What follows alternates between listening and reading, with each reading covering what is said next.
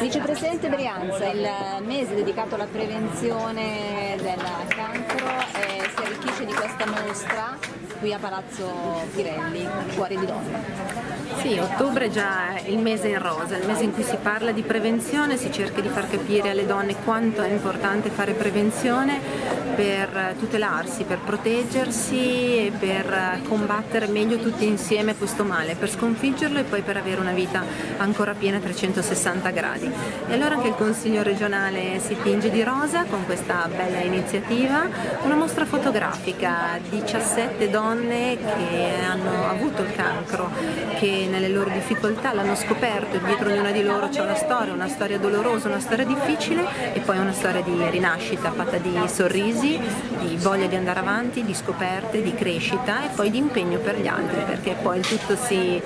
trasporta in questa associazione che sta vicino ai malati oncologici, ai pazienti, alle loro famiglie ma anche alle istituzioni perché il lavoro in sinergia è estremamente importante. Regione Lombardia per la lotta al cancro sta facendo, ha fatto e continuerà a fare moltissimo. Abbiamo delle eccellenze, abbiamo le breast unit, abbiamo tanti aspetti positivi ma la strada è sicuramente lunga. La cosa che mi piace pensare è che poi ci siano tante splendide associazioni e il lavoro di tanti volontari imprescindibile. Ecco, un supporto psicologico e a volte serve anche quello economico visto che anche da recenti statistiche questo tipo di problematica comporta anche delle spese non indifferenti per le famiglie. Beh, sicuramente scoprire di avere questa malattia e tutto quello che ne consegue ha un impatto, ha un impatto su tutta quella che è la vita di una persona, la famiglia,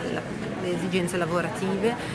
l'assistenza psicologica, non si tratta solo di cure fine a se stesse, di affrontare la malattia da un punto di vista sanitario, seppur imprescindibile e doveroso, ma di affrontarla davvero sotto tutti i punti di vista, perché no anche a quello estetico, eh, sociale, pensiamo per esempio al contributo parrucche, eh, pensiamo alla fertilità, alla necessità di doversi sottoporre a cure chemioterapiche che possono compromettere la fertilità per una donna e quindi la possibilità invece di crioconservare gli ovuli, eh, davvero fare questa scoperta è drammatico e impatta in tutti gli aspetti di una vita, però ci sono tanti strumenti per eh, combattere questo male, per vincere, per superarlo e per tornare ad avere una vita assolutamente piena.